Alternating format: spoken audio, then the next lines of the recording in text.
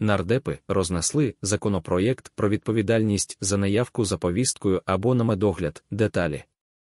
На думку нардепа від фракції Голос Андрія Осадчука, до документа є дуже багато зауважень.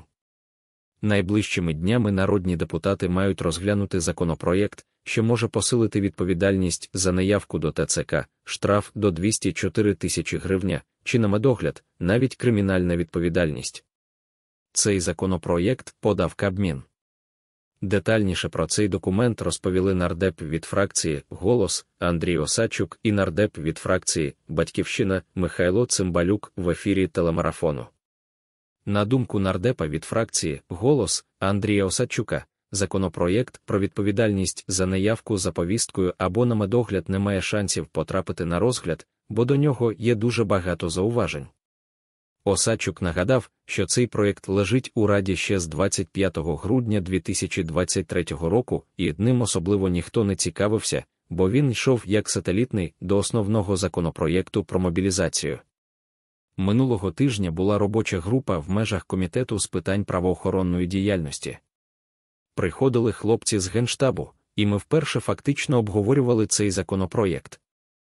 Він стосується цілої низки питань посилення відповідальності з усіх питань щодо ведення обліку, порушення законодавства про мобілізацію і т.д., але цей законопроєкт не те, що близький до нуля, щоб його ухвалили, але в такому вигляді його ніхто не буде ухвалювати, сказав Осадчук. За словами нардепа, наразі є абсолютно категоричні негативні висновки всіх залучених установ, починаючи від експертного управління ВР, закінчуючи Нацполіцією, Служба безпеки України. Осадчук зауважив, що, попри те, що документ подавав Кабмін за підписом прем'єра Шмигаля, а не якийсь навіжений депутат, законопроєкт дуже погано написано як за формою, так і по суті. Він нагадав, що у документі передбачалися шалені штрафи за порушення військового обліку до 100 чи навіть 200 тисяч гривня. Але в традиціях цього парламенту є така традиція підтримувати не законопроєкт, а ідею.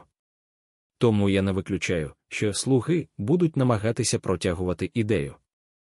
Але в будь-якому випадку це все буде переписуватися, сказав Осадчук.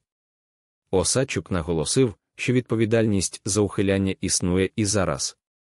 І в період воєнного стану вона досить висока. Але справа не тільки в штрафах, ми їх будемо піднімати, бо вони зовсім смішні ще з мирних часів. Але одними покараннями ми не вирішимо питання якості призову на військову службу. Зокрема, дуже багато ухилянтів просто не можуть знайти, бо є проблеми з реєстрами.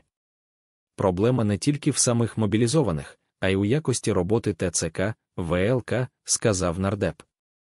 Депутат від Батьківщини і перший заступник голови комітету ВРУ з питань соціальної політики Михайло Цимбалюк погодився, що ця версія законопроєкту не має перспективи навіть потрапляння в сесійну залу, не кажучи, щоб набрати 226 голосів. Це необґрунтовані пропозиції, які пропонує невідомо хто. А уряд не готовий відстоювати свою позицію. Але закон про вдосконалення мобілізації однозначно буде ухвалений, в якій редакції ще зарано говорити. А далі потрібно вести професійну дискусію, що вдосконалювати, і яка відповідальність має бути. Зрештою, вона на сьогодні існує в адміністративному, кримінальному судочинстві. Але те, що пропонується на сьогодні, не витримує жодної критики і не є обґрунтованим, сказав він. Водночас нардеп припустив, що дискусія триває, і вона може вилитися в іншу, м'якшу форму законодавчої ініціативи з боку уряду. Чорний трикутник спрямований вправо на youtube каналі Телевізійна служба новин можна переглянути за цим посиланням відео. Нардепи рознесли урядовий законопроєкт про штрафи та ув'язнення ухилянтів. Раніше нардеп Єгор Чернєв спрогнозував, коли закон про мобілізацію може набрати чинності. Читайте провідні новини дня.